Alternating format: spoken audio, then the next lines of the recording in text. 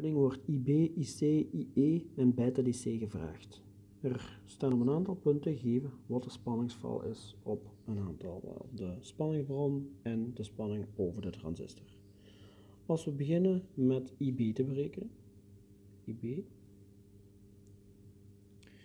die moeten we hierin zoeken. Als we de stroomrichting tekenen, dat is in deze richting, want we weten dat de diode, de basis emitter, staat in doorlaat geschakeld. Dus de stroom zal in deze richting uh, veranderen.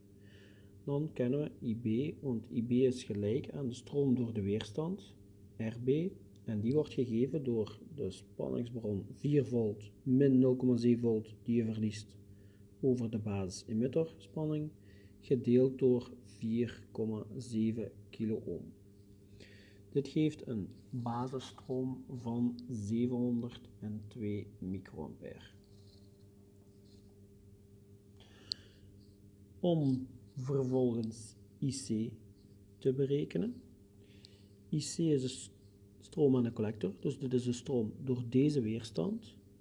En stroom door die weerstand wordt gegeven door 24 volt van de voeding, min 8 volt die we verliezen over de transistor. En dan blijft er een resterende spanning van 16 volt over 470 ohm staan. En dit geeft een stroom van 34 mA. IE is meestal gelijk aan IC, dus dat is ook 34 mA. Moest je willen dit in detail berekenen, kan je zeggen dat IE gelijk is aan IC plus IB. Maar aangezien IB 702 microampère is, is dat verschil minimaal en is de totale stroom aan de emitter ongeveer 35 mA na afronding. Wordt er alleen nog de beta DC gevraagd, die is gelijk aan de verhouding van de collectorstroom ten opzichte van de stroom aan de basis.